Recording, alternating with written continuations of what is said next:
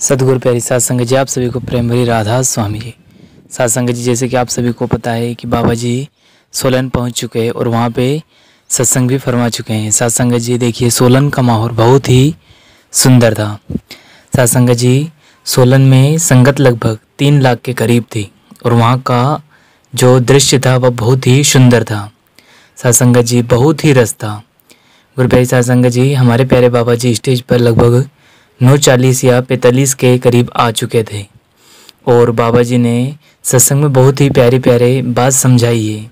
और आज के जो सत्संग थे, उनके वचन थे, जग में घोर अंधेरा भारी। गुरु प्यारी सत्संग जी, देखिए, जब भी बाबा जी जहाँ भी जाते हैं, हमें ऐसा लगता है, मानो हमारे परमपिता परमात्मा हमारे लिए आ गए हैं। और जब हम बाबा जी को देखते हैं तो वहाँ वक्त एक थम सा जाता है और हमेशा मन में एक ही ख्याल रहता है कि यह वक्त हमेशा हमारे साथ रहे, कभी भी हम यहाँ से नहीं जाए।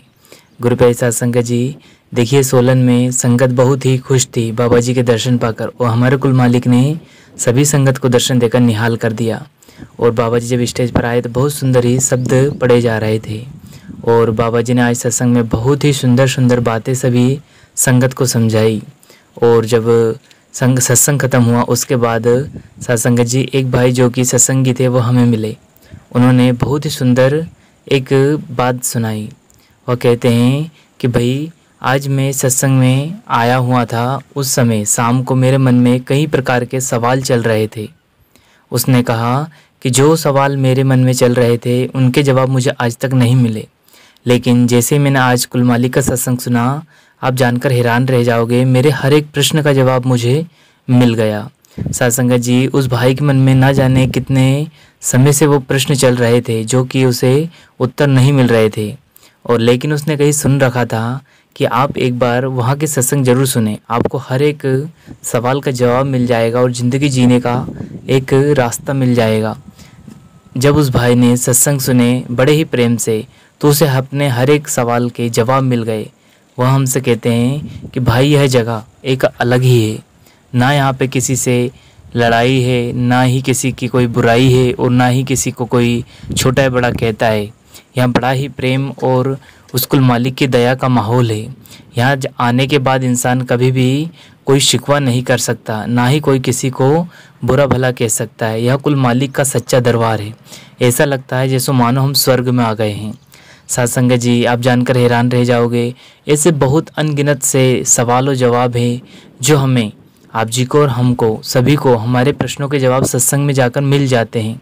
तो यहाँ उस भाई की कोई ऐसी बात नहीं थी कि जो हम नहीं समझ सके। क्यों? क्योंकि हम भी सत्संगी और आप जी भी सत्संगी, आप सभी के साथ भी ये ज़रूर हुआ होगा। तो वहाँ यह जानकर बहुत ही खुश हुआ और अपने हर एक प्रश्न का जवाब पाकर खुश हो गया। सत्संग जी सोलन में बहुत ही सुंदर दृश्य था। और संगत भी लगभग तीन लाख के करीब आई थी और सारी संगत बाबा जी के दर्शन पाकर निहाल हो गई। बहुत ही अच्छा लगा बाबा जी जब सत्संग फरमा रहे थे और स्टेज पर आए। दोनों हाथ जोड़कर सारी संगत को प्रणाम किया। यह देखकर सारी संगत की आँखों में आँसू आ गए थे। सात संगत जी, देखिए, वह कुल मालिक को दर्शन देना है, वहाँ देकर चला जाता है। लेकिन हमारे जो ख्वाब रहते हैं उनको देखने के, वहाँ अधूरे रह जाते हैं। क्यों? क्योंकि ऐसा लगता है कि हमारे प्यारे बाबा जी हमसे दूर जाए ही नहीं। लेकिन हमारे मालिक हमें समझाते रहते हैं, बेटा बाहर के जो दर्शन है, वह सच्चे नहीं है। अगर सच्चे दर्शन करना है तो हमें हर वक्त भजन सुमरन करना है। और जब भी अंदर के दर्शन होंगे तभी हम उन्हें सच्चा कह सकते हैं। सत्संग जी, इसी के साथ अपने वाणी को विराम देते हैं। फिर मिलते हैं किसी और वीडियो में। तब तक आप जी अपना और अपनों का ध्यान रखें जी। धन्यवाद। अगर वीडियो पसंद आया हो तो चैनल को सब्सक्राइब करके बेल आइकन प्रेस कर ले, जिससे कि बाबा जी की ऐसी अपडेट आपको मिल सके। जी, धन्यवाद। आप जी अमृत वेल उठकर नित्य नियम से भजन सुमरन करते रहे और मालिक की खुशियाँ प्राप्त करते रहे। जी, धन्यवाद।